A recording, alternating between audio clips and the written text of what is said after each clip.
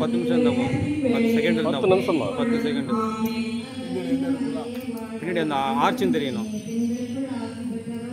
இன்று நான் வந்து கர்த்தரை சந்தித்து வைத்து வந்தேன்.